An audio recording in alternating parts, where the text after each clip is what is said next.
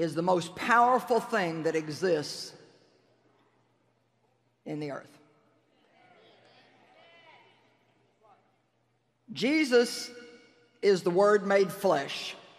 So when we approach the Word of God, we need to do it with reverence and with our full attention. The Word of God is not ordinary plain words, but they're words that are packed with life changing power. And I believe that when the Word is preached, that miracles are available to change lives, to save, to heal physically, mentally, emotionally, spiritually.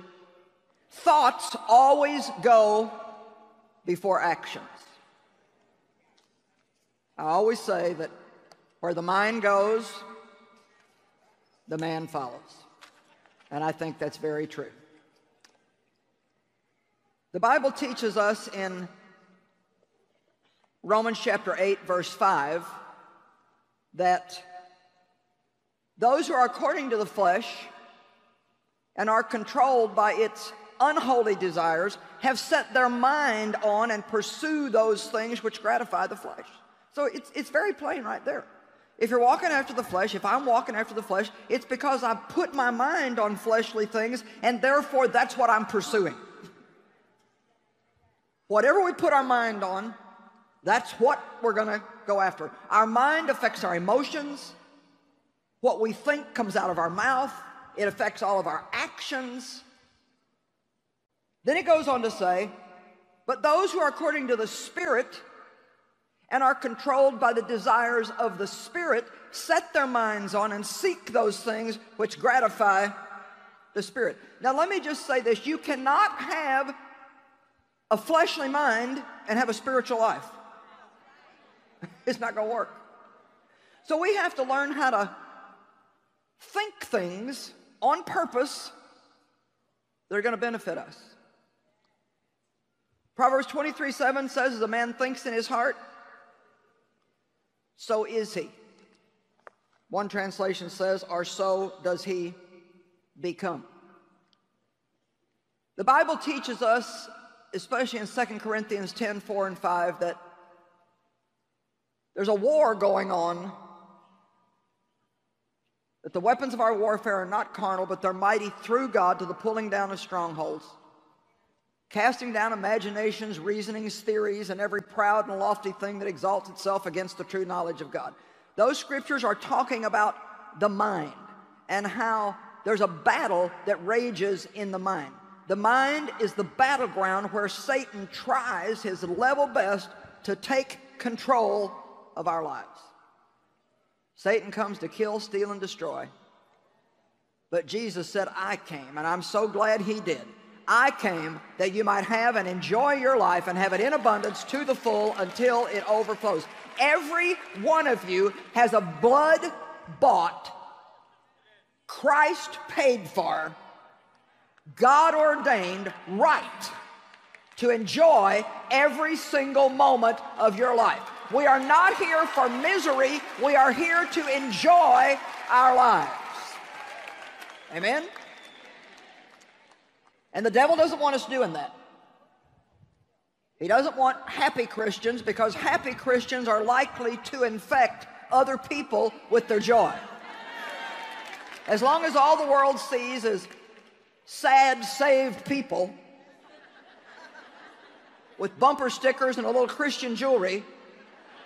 It doesn't say a thing to them as far as suggesting that they might consider wanting what we have. So whether you know it or not, joy is not only doesn't only just feel good, it's very necessary. It's the best advertisement that we can have for the gospel of Jesus Christ, especially when you can go out and be happy when maybe all your circumstances aren't happy.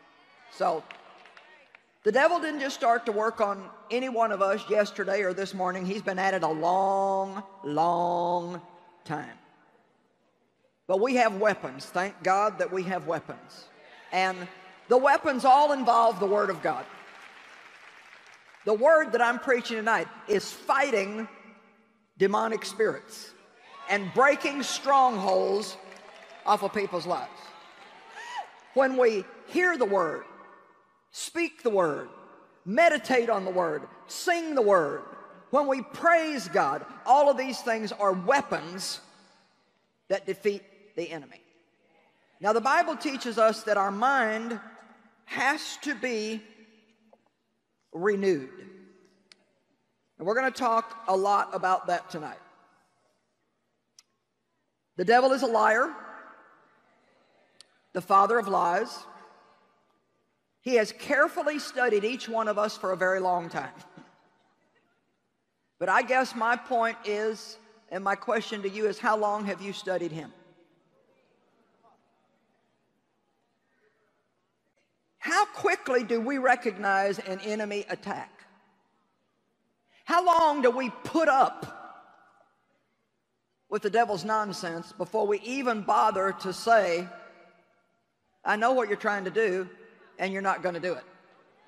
No matter what lie you tell me, this is what God's word says, and that is what I believe. How long do we just put up with the enemy tormenting us, how many days do we have to be in a fit of depression and full of self pity before we say, Oh, I think I'm under enemy attack? Don't wait till you get so bad that it takes a truckload of Christians to come and prop you back up again.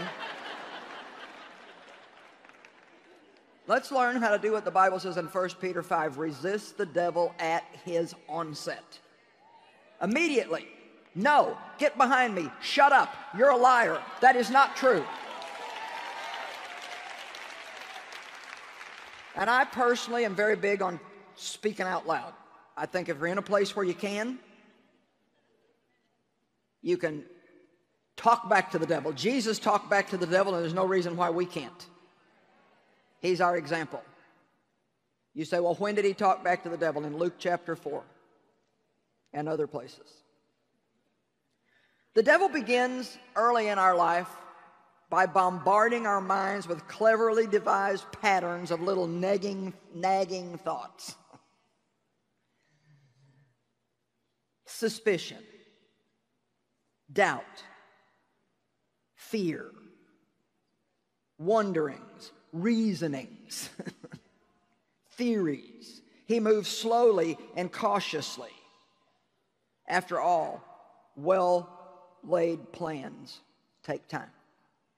A stronghold is an area where an enemy entrenches himself and controls that area. And so when the Bible talks about how Uh, we have strongholds in our mind, we have to understand that that's an area where the enemy, Satan, has worked a long period of time and he now is entrenched in that area and he's caused us to believe something that is absolutely not true. However, as long as we believe it's true, no matter how untrue it is, it's true for us.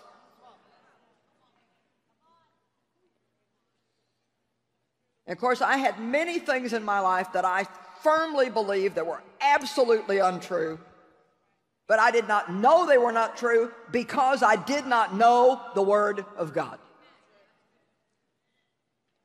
I wonder if we have any idea how precious the Word of God is. I'll tell you what, I thank God for what I know.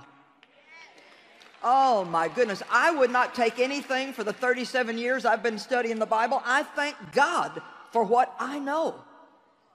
The more you know of the Word, I mean, really know, the less likely you are to be deceived. The devil doesn't want you to study. He don't want you to be here tonight.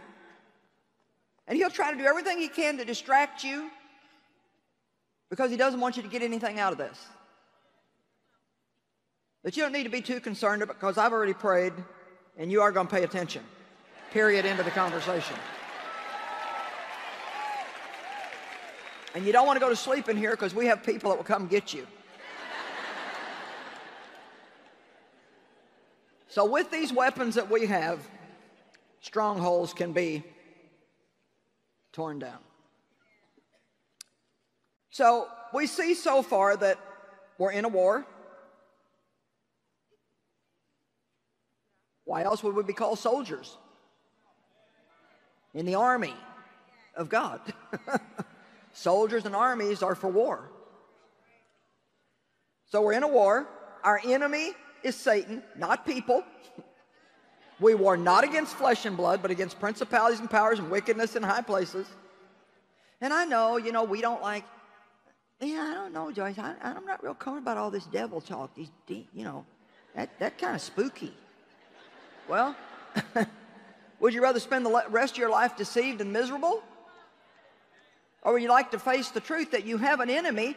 You don't need to be also concerned about him because God is much greater than he is, but neither can you ignore him. Jesus did not ignore the devil, and we cannot ignore him either.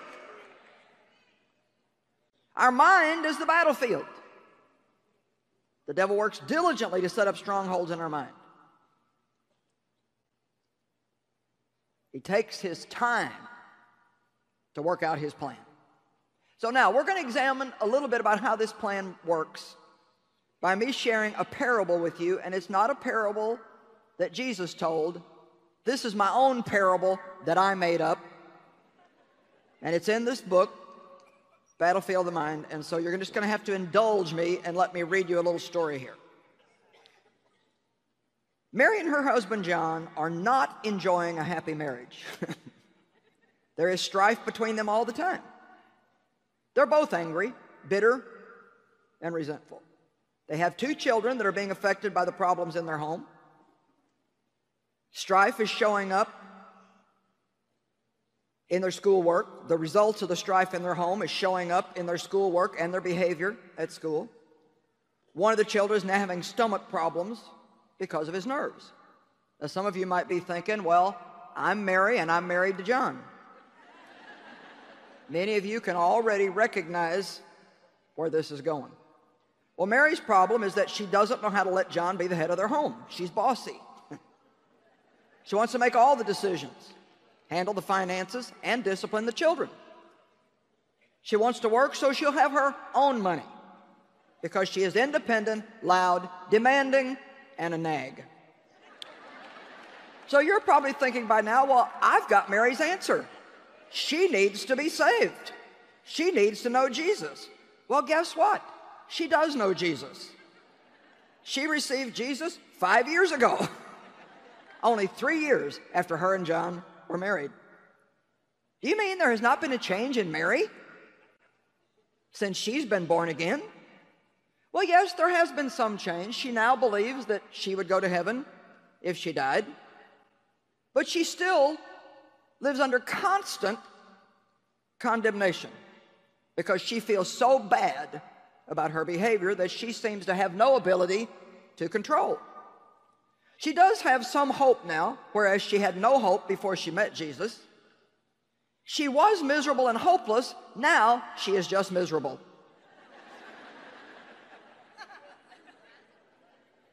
It's one thing to be a miserable sinner, it's another entirely different thing to be a miserable saint and I have been both. Mary knows that her attitude's wrong. She wants to change. She's received counseling from two different people, takes every opportunity to be prayed for, asks for victory over anger, rebellion, unforgiveness, resentment, and bitterness. Why has she not seen any improvement? well, the answer is found in Romans 12, verse 2. So let's go there and read that before we go any further. Do not be conformed to this world, fashioned after and adapted to its external superficial customs, but be transformed, entirely changed by the entire renewal of your mind. Be changed by the renewal of your mind. We are saved by the blood of Jesus we are changed by the power of the Holy Ghost and the renewal of our mind. When you get saved, your mind doesn't get saved. You do get a new mind, you get a mind of the Spirit, you get the mind of Christ, and we'll talk about that a little bit later, but it still has to be developed. It's something that's down deep inside of you. Old habit patterns have to be broken, strongholds have to be torn down. How many people receive Christ as their Savior. They're sincere. They pray a prayer of salvation with somebody. They want to turn their life around, but they never really educate themselves. They don't educate themselves. There's not one person here that would ever expect to go be a doctor with no education. You would not expect to be a good dentist with no education. You would not expect to be a school teacher with no education. Not even a kindergarten school teacher would you expect to be with no education. And yet we expect to be powerhouse, victorious Christians with no education. and it just won't work. Now, you know, you've come here tonight because you're people who want to be educated. But guess what? There's millions of other people watching this right now by TV, and many of you don't know zip about the Word of God. And if somebody asks you, you might say, Well, yes, I believe in Jesus. But I'm telling you, even if you believe in Jesus and you sincerely believe in Jesus, if you don't know the Word of God, I mean know it, not have a little bit of head knowledge, but know it, then you have no way of being able to discern when the devil is lying to you. And if you let him lie to you, he is going to rule your life. How many years did I go to church week after week after week after week? I was on the evangelism board at my church. I went out and knocked on doors telling people about Jesus out of obligation because I wanted to work for God. I read a chapter a day in my Bible out of obligation. Didn't remember a thing I read, didn't understand the thing that I read.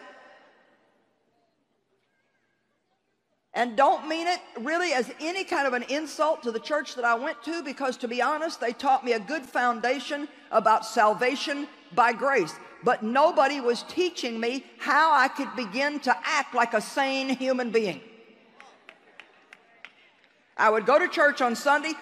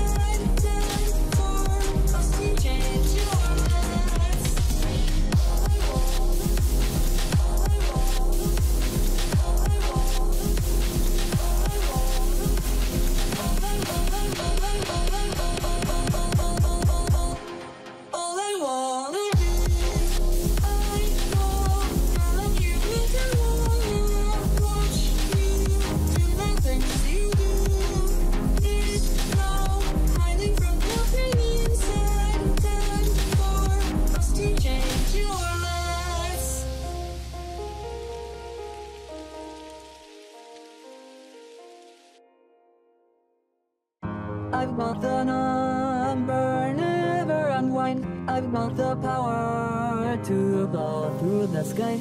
I see her eyes and all I can find is there someone else I can go. And it's so hard to climb on these rocks, down these rocks and roads that got my name in. Seeing red and gray and broken bones, I hear footsteps in the rain. When the time makes me feel so sad and lonely, and your smile makes us smile so sad and pain. When it breaks, when your heart breaks and that's my cheeks, I just want you to feel my love ring.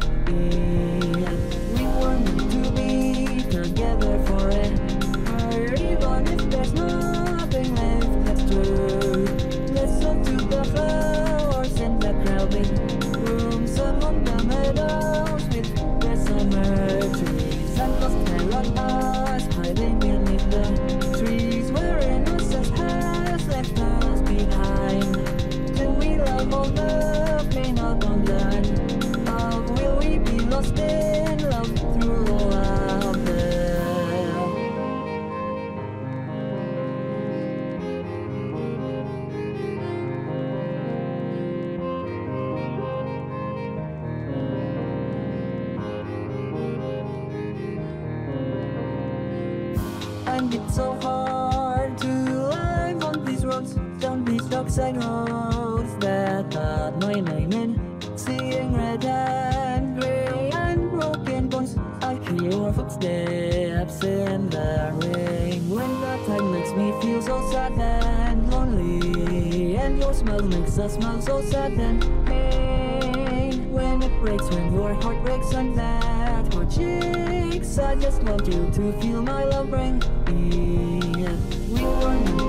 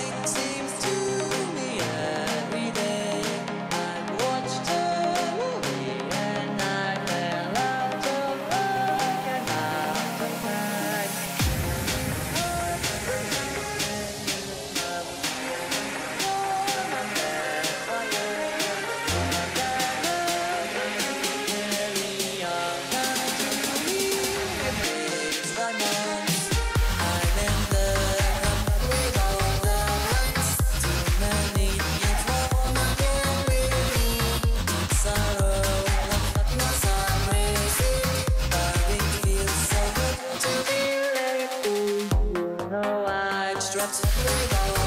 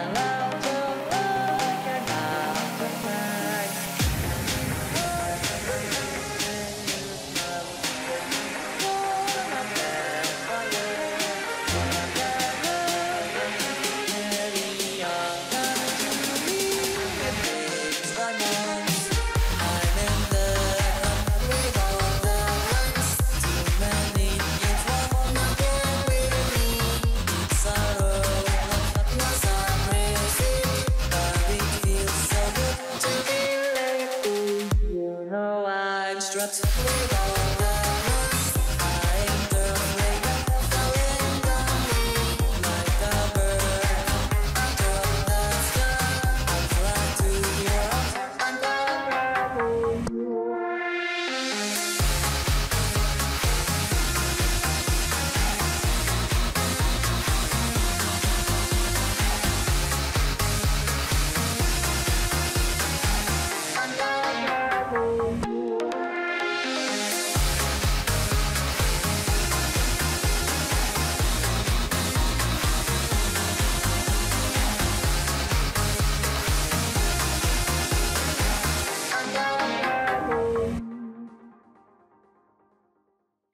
My husband all week, yell at my kids all week, be miserable, depressed, angry, just a total mess, and go back to church the next Sunday. And I tell you what, I have been on an all out rampage for the last 37 years since God touched my life and I've learned His Word to see Christians grow up and mature so they can have what God sent Jesus to die for them to have, and so we can be lights in a dark world. Amen. And I feel very passionate about it. And this is where it starts the renewal of your mind. And it's a process that never stops. Let me tell you, in studying for this series for the last couple of weeks, and the closer I get to the conference, the more I entrench myself and study, the more I meditate on it, the more I've been reading, the more I've been thinking about this. I've been thinking about these scriptures on the mind all day long, and it has helped me. My thinking has improved by preparing to preach my message on thinking. So I always say, I'll just be happy to preach to myself. Even if you don't need it, I'll be happy to preach to me.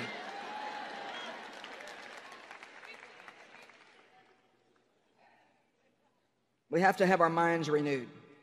Be not conformed to this world, but be ye transformed, changed by the entire renewal of your mind, that you might prove, prove for yourselves what is the good and perfect and acceptable will of God for you. I don't want to just talk about the good things that God wants me to have. I want to see them. I want them proved out in my life, and I don't want to just preach to you about them. I want you to say, Joyce, I got it. I want to hear your testimonies. I've been set free. I'm a new person. My marriage has changed. My kids are different. My home is different. I've got peace in my life.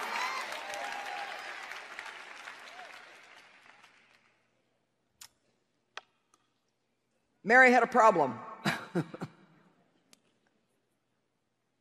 I'm sure Mary was a sweet girl that loved Jesus, but she had strongholds in her mind.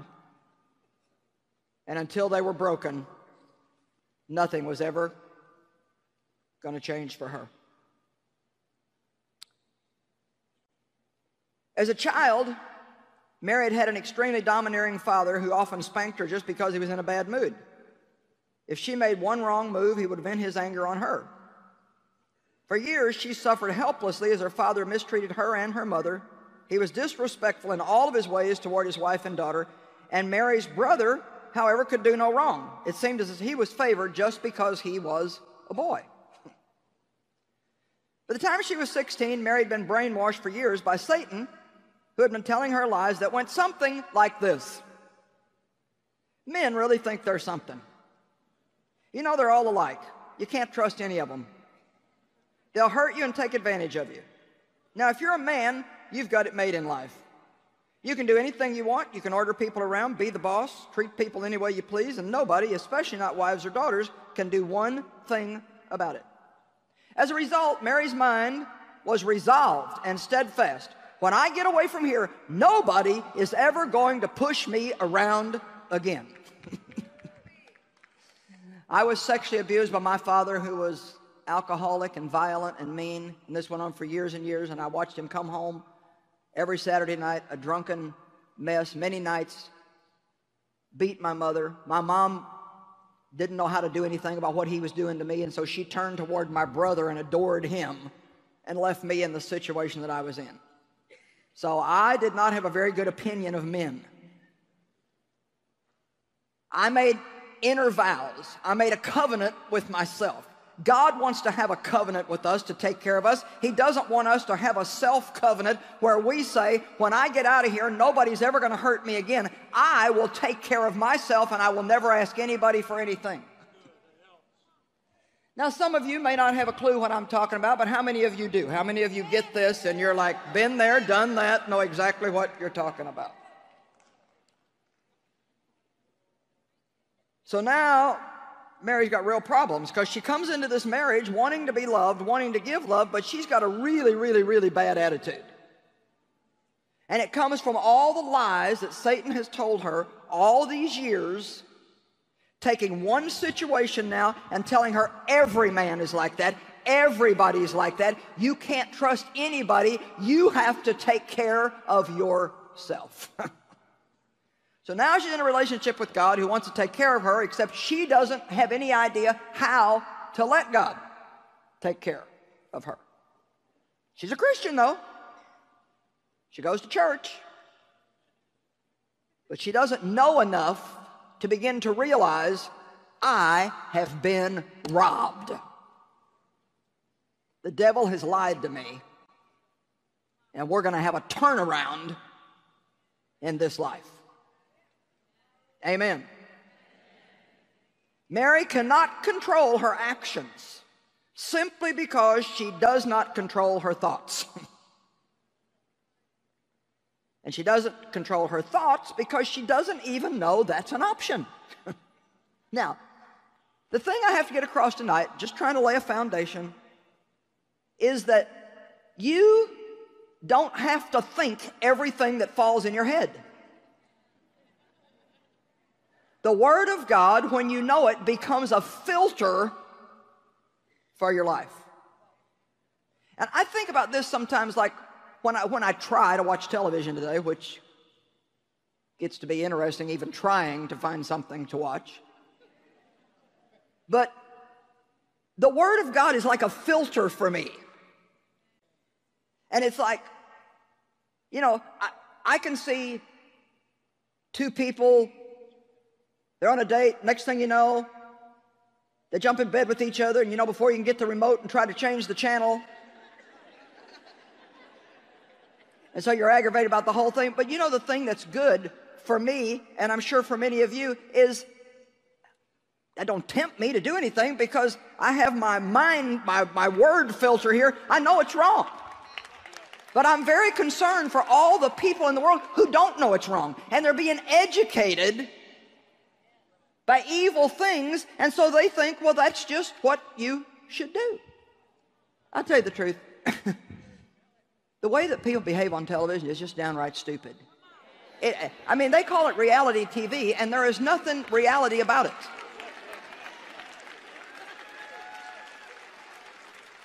I mean, I get so tired of watching man kisses woman, woman begins to rip clothes off a man.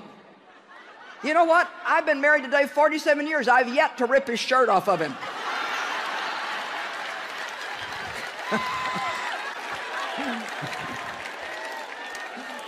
now, you know, whoa. And then all that stuff gives, you know, men stupid ideas, and then they're not happy with their wives, and, you know, like, well, why aren't you ripping my clothes off of me? Well, there is nobody ripping.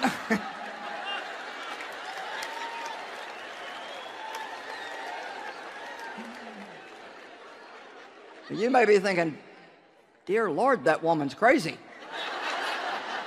no, I'm just telling you the truth. If we don't talk about these things where we ought to be talking about them, how's anybody ever going to stay out of trouble? I don't need to just talk to you about religious doctrine. Jesus told me to go teach people how to live according to His Word. So, anyway, you understand what I'm saying. Now, let's talk about John for a minute, because John had some issues of his own.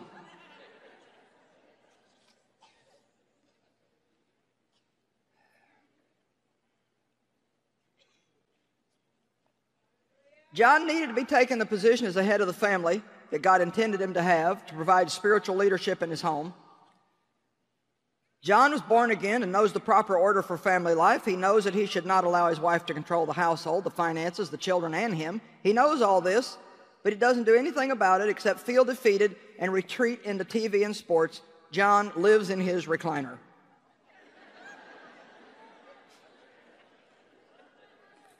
John should be doing a lot of things, but like Mary, he also has wrong mindsets because of the way he was raised. Let me tell you something. If you were raised in a sane, even a reasonably sane home, you should thank God every day. Let me tell you something. You are way ahead of the game. Because many of us were raised with dysfunction to the max. I mean, nothing was functioning according to anything normal. And so you come in with so much baggage that it takes you so much time to unpack.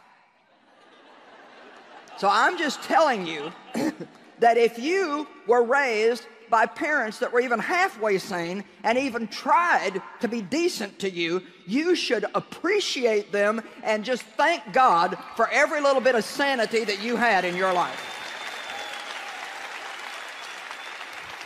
And you should be a little more patient with those of us who didn't have it the way you had it. I tell you, my Dave was a wonderful, spirit-filled, 26-year-old, good-looking, muscular Lutheran young man. He loved God. He'd been raised by a godly mother, although his father did die from alcoholism. His mother the, the godliness in his home because of her overrode anything that could have been a problem from him. So moms or dads, if, if one or the other of the partner is not doing what they're supposed to be doing and causing problems, you hang on to God. You teach your kids what's right, and you can overcome all that.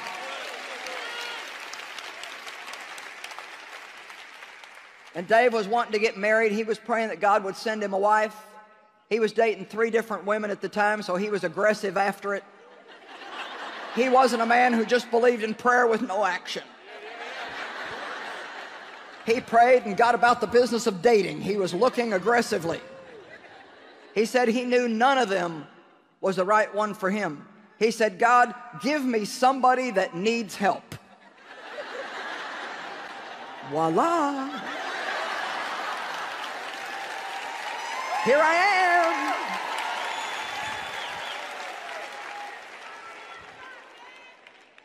I tell you, all you people praying for somebody to marry and you want the perfect this and the perfect that and a spiritual giant and this and that and no flaws and on and on and on.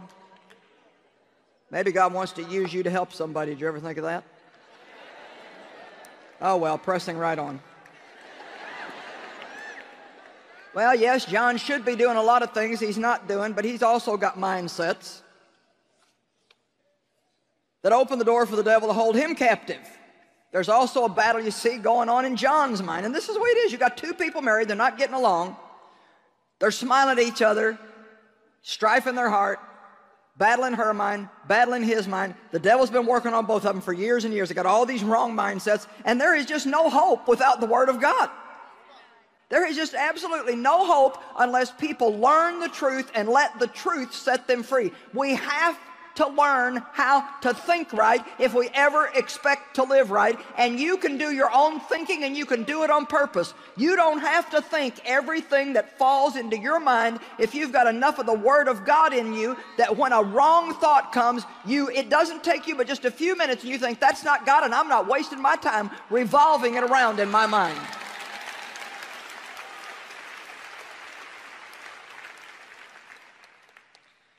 Like Mary, John was verbally abused in his childhood. His domineering mother had a sharp tongue and frequently said hurtful things like, John, you're just never going to amount to anything. You're a failure. John tried very hard to please his mother because he craved her approval, like all children do. But the harder he tried, the more mistakes he made. He had a habit of being clumsy, and his mother always had something to say about it, told him what a klutz he was, so of course that made him nervous, and he dropped more and more things. So he always felt defeated. He experienced unfortunate rejection from children that he wanted to be friends with. Then he liked a girl at high school. She ended up rejecting him. Then a teacher rejected him, and so you get the pattern on and on and on and on and on.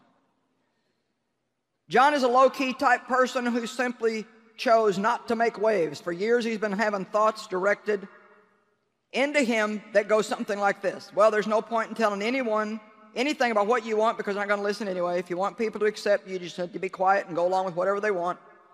Just leave things alone. Nothing you say is going to make a difference anyway. There's no point in saying anything. The few times he tried to stand his ground on any issues, it seemed that he always ended up losing, so he finally just decided that confrontation simply was not worth the effort. I'm going to lose in the end anyway, so he reasoned, why should I even try anything? So he lives in his recliner, and Mary runs around ranting and raving, and then they go to church on Sunday morning. and sad to say,